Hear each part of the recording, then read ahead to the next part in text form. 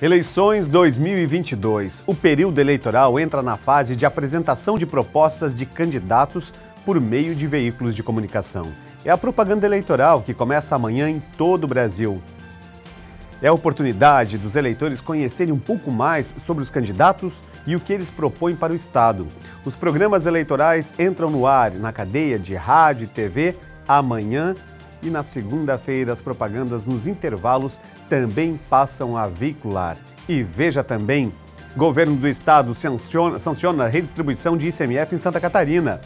Santa Catarina realiza a Semana Estadual de Inclusão de Deficientes. UFSC oferece serviço de apoio a pessoas atacadas por animais peçonhentos. E ainda começa o período de programa eleitoral em todo o estado. É a partir de amanhã.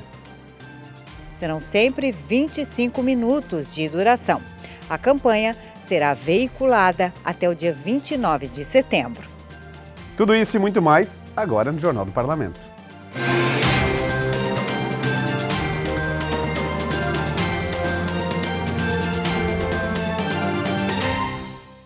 Muito boa tarde para você. A Universidade Federal de Santa Catarina conta com um serviço de assistência a pessoas que possam ter sido picadas por animais peçonhentos. Somente no ano de 2020, o Centro de Informação e Assistência Toxicológica de Santa Catarina realizou mais de 18 mil atendimentos referentes a intoxicações ou envenenamentos. Desse total, mais de 4 mil eram casos envolvendo animais peçonhentos ou venenosos. As aranhas foram responsáveis por mais da metade dos atendimentos, seguidas pelas serpentes, lagartas e escorpiões. Quando alguém é intoxicado, né, ou envenenado, é, deve ligar para o 0800 643 5252, ligação gratuita. Nós vamos atender e aqui orientá-lo. Se é necessário procurar um atendimento médico, hospitalar, ou se é seguro ficar na própria residência. No caso de animal peçonhento, se puder tirar uma foto ou capturar o animal, se for seguro, é, enviar para a gente, né, aqui para o Ciatox, para a gente poder identificar esse animal e passar o tratamento mais adequado. Evitar a presença dos animais peçonhentos também é importante. Deve manter sempre a residência é, limpa, né? Se tiver algum terreno, algum terreno baldio, enfim, sempre manter limpo, evitar entulhos, né? Que nesses locais os animais podem se instalar. A farmacêutica bioquímica Daniele é gerente do Centro de Informação e Assistência Toxicológica de Santa Catarina. Localizado junto ao Hospital Universitário em Florianópolis, o CIATOX iniciou as atividades em 1984, fruto de um convênio entre a Secretaria de Estado da Saúde, a Universidade Federal de Santa Catarina e a Fundação Oswaldo Cruz. Atualmente, o Centro de Informação e Assistência Toxicológica é referência estadual na área de toxicologia clínica. Possui uma equipe multidisciplinar de profissionais como médicos, farmacêuticos e biólogos, além de estudantes da área da saúde. O centro também mantém um serviço de plantão 24 horas e ainda oferece atendimento pelo telefone 0800 643 5252. Intoxicações por medicamentos ou devido a produtos químicos residenciais ou industriais também estão entre os atendimentos mais comuns registrados no Ciatox, além, é claro, dos animais peçonhentos ou venenosos. Daniele reforça o que fazer e o que não fazer nesses casos. Ela deve lavar o local com água e sabão e entrar em contato com o 0800, né? E se, como eu tinha falado, se for possível tirar uma foto e nos encaminhar para saber se foi peçonhento ou não. Não deve fazer mais nada além disso, no máximo tomar água, né? E lavar o local com água e sabão. E se dirigir ao hospital mais próximo. Não devem cortar o local da picada, nem passar nada em cima. Não deve beber nenhum outro tipo de líquido que não seja água tentar manter a calma e, e se encaminhar ou ligar para cá ou para o bombeiro, se estiver sozinha, né, para ir até um hospital mais próximo. Fala-se muito em inclusão social, no mercado de trabalho e deficientes. E esse terceiro grupo, por sinal, ainda precisa reforçar na sociedade que eles também podem participar de diversos círculos sociais. Por isso, Santa Catarina realiza uma semana inteira de atividades para promover a conscientização relacionada à inclusão dos deficientes. garantir a inclusão. Essa é a principal razão da Semana Estadual da Pessoa com Deficiência Intelectual e Múltipla, que ocorre anualmente entre os dias 21 e 28 de agosto. Os desafios são muitos e diários para as pessoas com deficiência, e na avaliação da presidente da Federação das APAES de Santa Catarina, uma mudança é fundamental. É a atitude das pessoas, das autoridades e cumprir aquilo que está escrito, né? Porque inclusive essa semana ela tem como slogan superar barreiras para garantir a inclusão. E as barreiras não são só barreiras físicas, barreiras de acessibilidade, né? são barreiras também de comunicação, de educação e principalmente atitudinais. Então a gente precisa muito que as pessoas tenham atitudes realmente de inclusão. Para ela, os avanços conquistados ao longo do tempo é mérito da luta de cada família e de cada pessoa com deficiência. Cada um, eu sempre digo aos pais, cada família tem que lutar pelos seus espaços, mostrar o que sabe, porque não adianta a gente ficar em casa e querer que as coisas aconteçam, né? As coisas têm que ir acontecendo. A gente tem muita dificuldade ainda, não resta dúvida. Começando pelas barreiras arquitetônicas, a gente tem muita dificuldade. Em Santa Catarina, 20 mil alunos com deficiência são atendidos em 197 APAES. Atual presidente da Federação Estadual traz da experiência na própria família os desafios enfrentados e as consequências das barreiras que ainda existem, mesmo com o avanço na legislação. Eu tive um filho aos 43 anos passados, hoje ele já é falecido, então há 43 eu, eu também luto por essa causa, né? Ah, não que antes não pensasse nela, mas quando você tem na família, você luta com mais afinco. Eu tenho hoje dois netos cadeirantes que não têm deficiência intelectual, mas que precisam da, das calçadas e das travessias para uma cadeira de roda. E isso a gente tem uma dificuldade incrível. Né? E às vezes dessa acessibilidade resulta a não frequência ao local, isso gera a não frequência à escola, não tendo conteúdo, você não tem capacidade para trabalho, isso é uma roda. Termina nesta semana o prazo para consulta pública referente à certificação Responsabilidade Social e Troféu Destaque SC. O prazo final para a consulta pública é sábado. Na prática, a população pode se manifestar por meio de críticas, dúvidas, reclamações ou outra forma de opinião sobre os balanços sociais dos inscritos. A consulta está disponível no site da Assembleia Legislativa com o endereço responsabilidadesocial.alesc.sc.gov.br. O registro da manifestação que estiver devidamente identificado, resguardado o sigilo, será anexado ao processo de inscrição da organização. Na comissão que analisa as inscrições das instituições, um relator é designado para encaminhar as manifestações aos inscritos, que têm o prazo de cinco dias para apresentar as justificativas.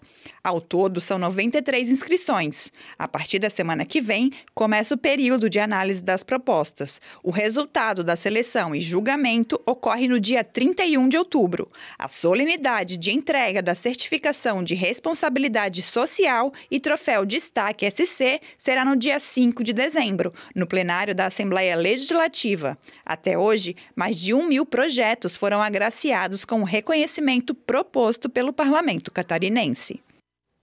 A seguir, começa oficialmente a propaganda eleitoral.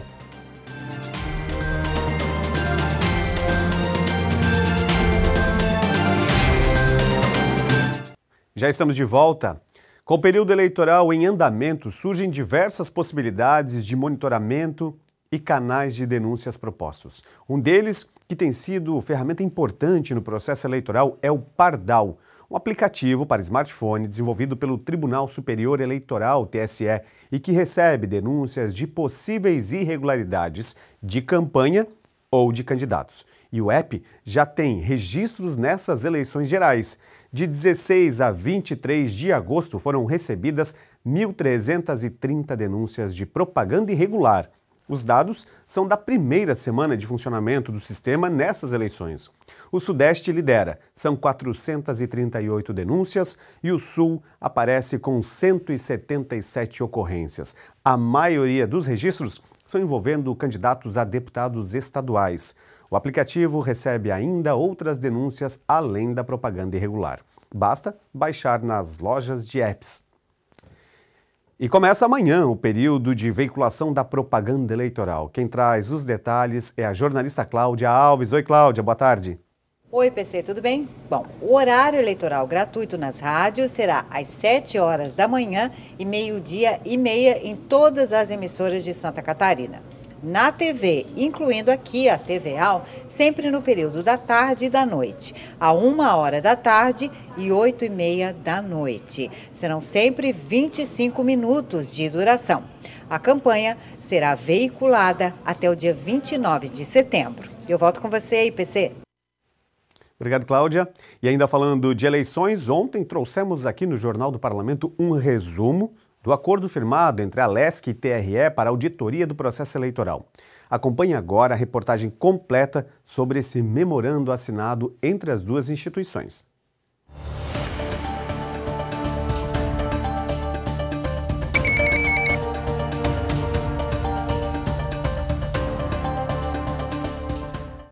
Esta cerimônia formalizou a participação da Assembleia Legislativa de Santa Catarina na Comissão de Auditoria da Votação Eletrônica, criada pelo Tribunal Regional Eleitoral por determinação do TSE assinaram um memorando de entendimento com este objetivo o presidente do Parlamento, deputado Moacir Sopelsa, o presidente do TRE, desembargador Leopoldo Brigman, e os diretores gerais da Assembleia e do TRE.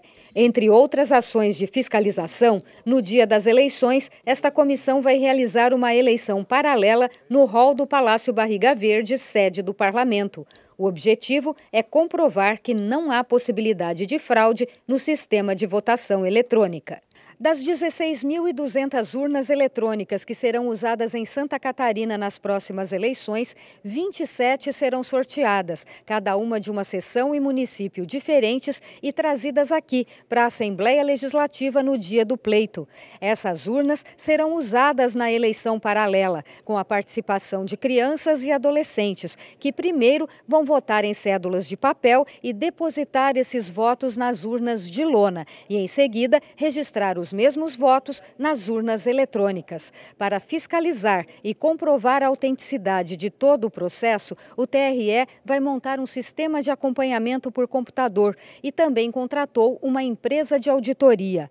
Essa eleição paralela vai ser transmitida ao vivo pelo YouTube. As urnas eletrônicas sorteadas e trazidas para cá serão substituídas nas sessões eleitorais por equipamentos reserva.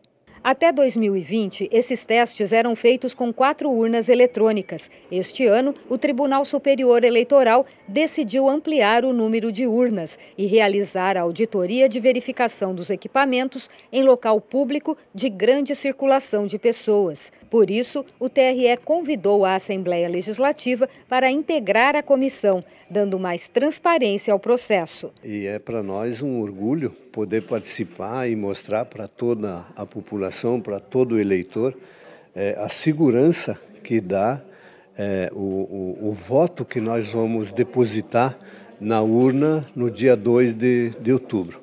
Os questionamentos que são feitos são esclarecidos. Santa Catarina dá exemplo nisso, de fazer é, que a eleição seja o mais, o mais possível transparente e segura. Por que a Assembleia Legislativa? Que é a Casa do Povo.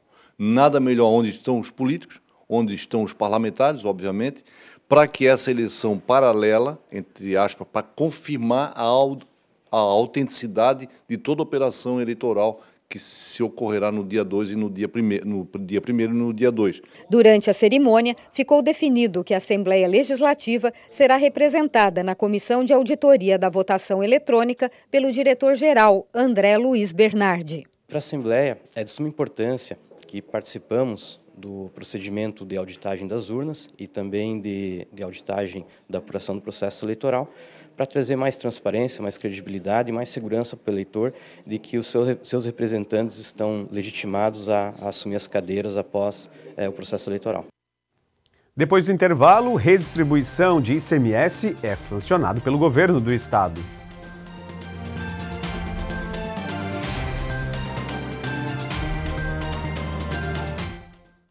Já estamos de volta com o Jornal do Parlamento e olha, o projeto de lei que trata do ICMS educacional em Santa Catarina foi sancionado pelo governo do estado.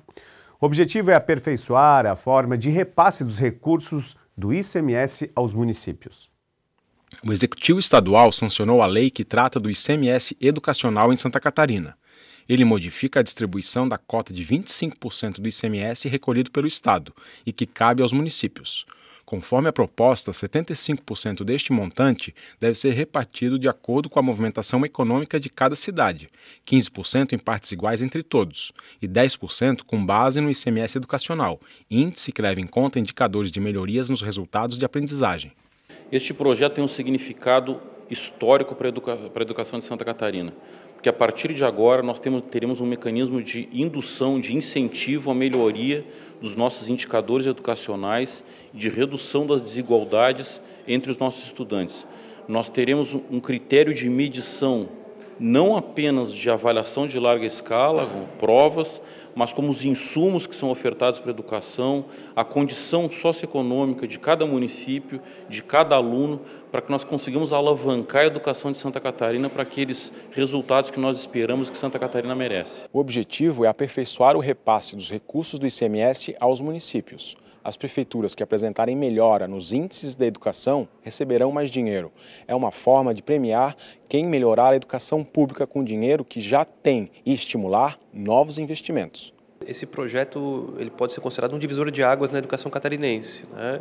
é, porque ele visa justamente reconhecer né, é, que a educação é prioridade em Santa Catarina né, e uma união de esforços entre diversos órgãos que se reuniram aí por mais de um ano né, num grupo de trabalho, é, Governo do Estado, Assembleia Legislativa, Ministério Público, Tribunal de Contas, é, Tribunal de Contas, os municípios, a Undime, o Conselho Estadual de Educação, todos esses órgãos é, se debruçaram então sobre esse tema e apresentaram uma proposta muito robusta né, que vai permitir que aqueles municípios que mais avançarem na educação recebam mais recursos do, do ICMS.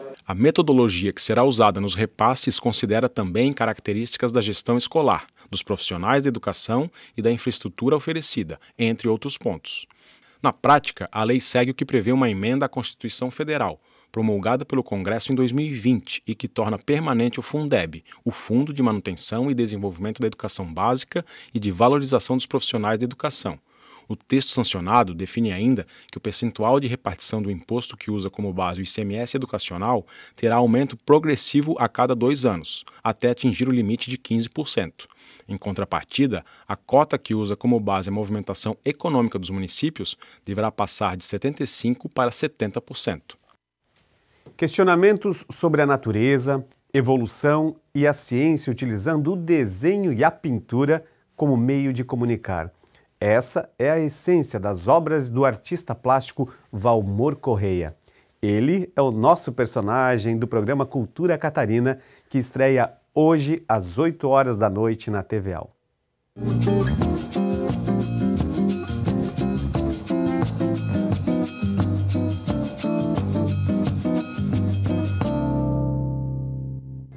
Valmor, as, as suas obras misturam muita arte e consciência. Eu queria que contasse a gente como é que começou o teu envolvimento com a arte. Foi no colégio ainda? Na verdade, eu desenho desde pequeno. Assim, meu pai e a minha mãe guardaram desenhos meus assim com dois anos de idade e já tinha uma percepção que é bastante uh, interessante quando você observa esses desenhos para uma criança daquela idade e assim foi indo até a minha adolescência que eu então desenhar era um, um, um costume, um hábito meu, né? Claro Florianópolis, naquela ocasião, pouco se sabia sobre arte, né? apesar de, de, de, termos já algum, alguma coisa no Estado, mas é, era um universo muito diferente.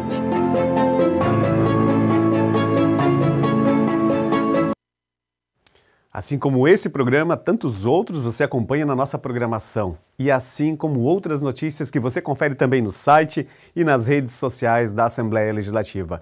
Hoje eu me encontro com você às seis e meia da noite no TVL Notícias. O Jornal do Parlamento fica por aqui. Uma ótima tarde e até mais.